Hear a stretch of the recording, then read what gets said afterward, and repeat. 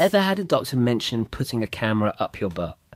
Well, here's why that weird sounding test could change everything. If you've got gut pain or symptoms that won't quit, doctors might suggest an endoscopy, a simple way to peek inside and see what's really going on. An endoscopy uses a tiny camera on a flexible tube to check for ulcers and swelling in your gut classic signs of Crohn's and colitis. There are different types of endoscopic procedures. A gastroscopy checks your throat and stomach, while a colonoscopy looks at your large bowel and rectum. Now, during the test, they might take a tiny sample known as a biopsy from your gut lining. These are so important for spotting microscopic colitis, which can only be seen under a microscope. Even if your symptoms calm down before your appointment, don't skip those tests. Sometimes inflammation shows up even when you feel fine. Endoscopies might sound intimidating, but they are one of the best tools for getting a real answer about your gut and getting you on the path to feeling better.